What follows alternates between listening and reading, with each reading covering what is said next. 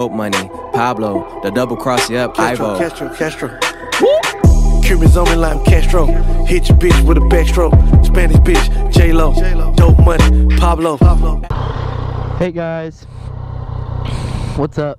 Uh, today I'm going to be reviewing this jacket I have on.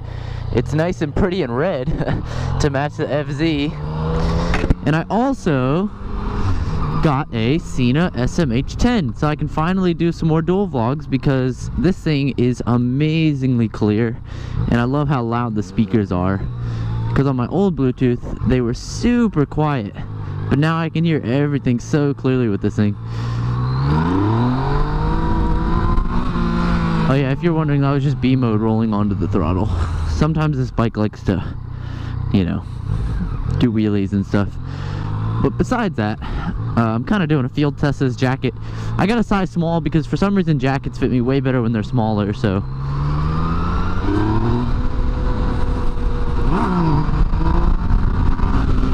But yeah, this jacket, it's great, you know? I mean, it's about, let's see, what's the temperature out? It's 64 degrees outside and I feel natural, I guess. It's kind of like a temperature I'm feeling right now where I'm just comfortable. It's not cold and it's not hot, so that's great. So uh, yeah, I'm just kind of cruising around on the FZ, kind of playing around. And I was trying to test out the Sena, and the Sena sounds amazing. I just got on the phone with my dad. I'm really glad the company sent me this. If you're looking for a great Sena headset, go ahead and check out motorcyclehouse.com. I'll put the link in the description where I got both of these items. I got the jacket and this jacket is awesome actually. I'll put the link for both so you can go check them out. But it's a textile jacket but it fits me great.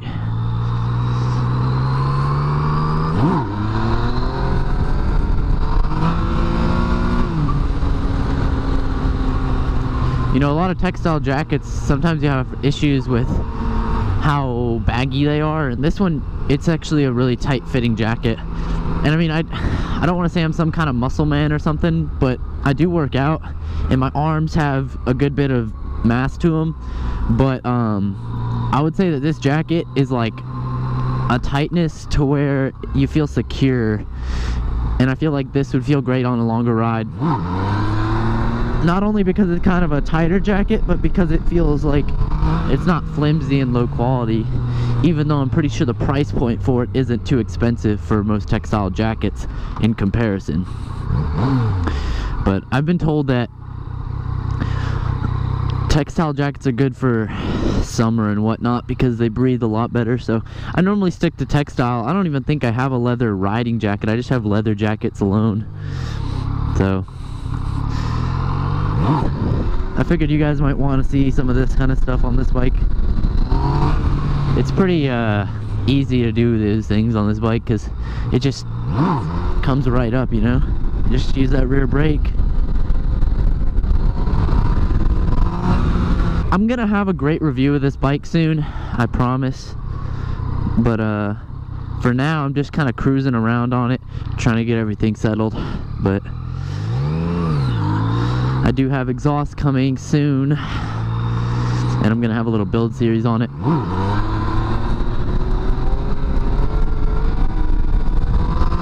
Sooner than later, but I really do enjoy this bike. It's an awesome bike. I do not recommend it for starters. I've been riding for a good bit now, and I guess it just suits my riding style. So we're in, let's put it in A mode.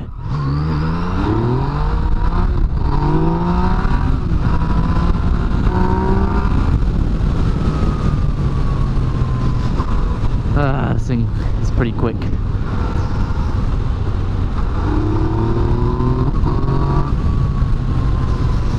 I prefer B mode because it's a little bit less twitchy, you know. Some of the other selections that you have of modes, it's kind of twitchy. But uh, my plan is to get ECU flash for it, exhaust, and a couple other goodies. I already have the aftermarket rear turn signals on there and this windshield, so I really like this windshield over all the other windshields that they have for this bike because this is the sportiest looking one and I feel like it makes the bike just come to a point basically and I really like that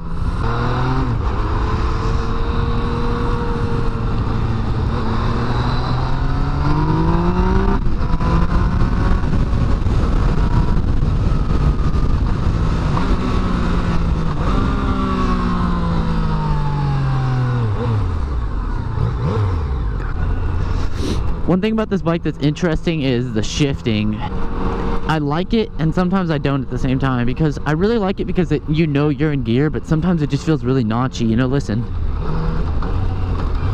It's just, I like it because you know what gear you're in. You know, the great thing about this bike is it also has a gear indicator, which you don't really need, but it's a first for me. I've never had a gear indicator on any of the bikes I've owned, so it's really nice to have now that I think about it.